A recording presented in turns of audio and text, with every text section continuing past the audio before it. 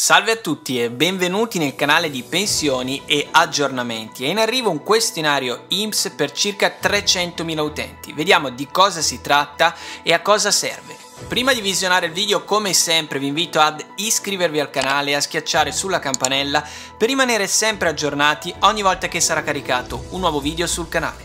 Vi invito inoltre a lasciare un mi piace in questo video per supportare il canale naturalmente tutto gratuito. Dicevamo dunque che è in arrivo un nuovo questionario dell'INPS, lo ha comunicato direttamente l'istituto attraverso il messaggio numero 1405 del 2 aprile 2021 con il quale ha fatto chiarezza su quali saranno i destinatari e sullo scopo del sondaggio.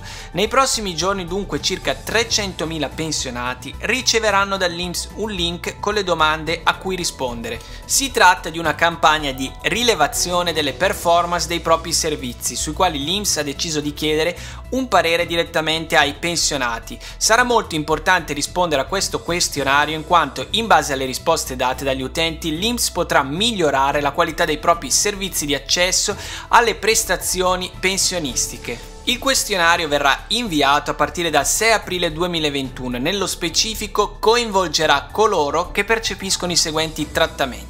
Pensione anticipata, pensione di vecchiaia, pensione quota 100, pensione in regime di cumulo, pensione in regime di totalizzazione.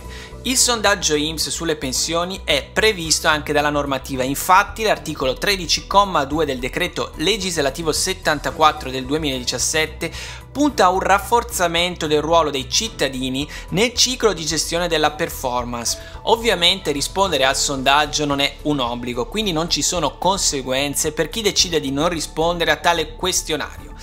La rivelazione sarà effettuata da Customer Experience in collaborazione con il Dipartimento della Funzione Pubblica e con Formez PA.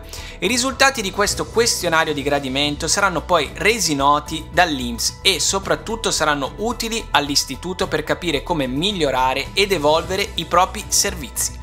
E anche per oggi è tutto, se non l'avete già fatto vi invito nuovamente ad iscrivervi al canale e a schiacciare sulla campanella per rimanere sempre aggiornati ogni volta che sarà caricato un nuovo video sul canale. Grazie per l'attenzione, al prossimo video e un saluto a tutti.